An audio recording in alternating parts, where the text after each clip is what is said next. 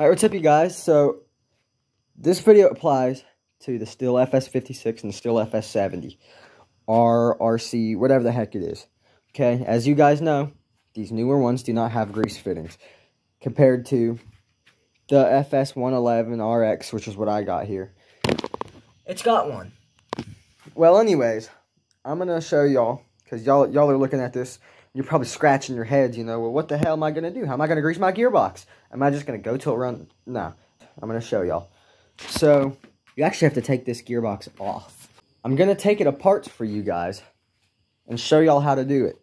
So what you want to do, you know, turn your weeder on whatever side you prefer putting it on. You got this T27 right here. You want to take it out.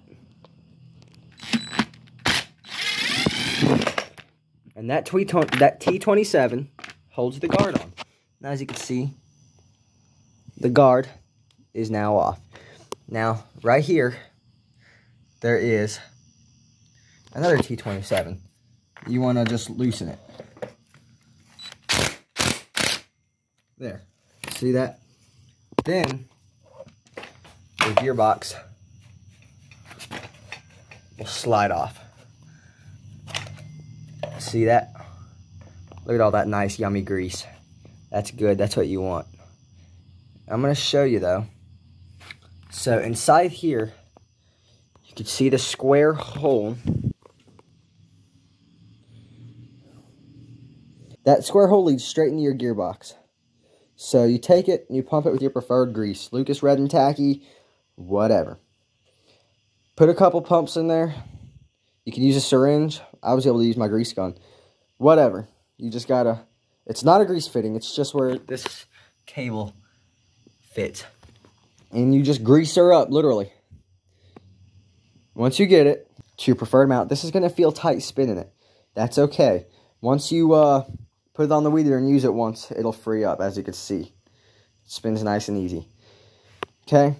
Gearbox is greased. That's how you do it. Now, put it back together. It's just reversed how you took it off. I hope you know how to do it, but I'm going to do it so I could show y'all.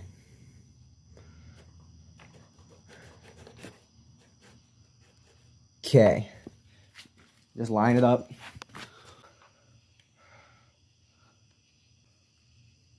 That looks pretty good. Just tighten that T27 on the gearbox. Gearbox is on. Now all you got to do is put the guard on. And you just simply... Gearbox is on. Now I'm going to make sure it's sitting straight. And it is. It's going to sound like brand new.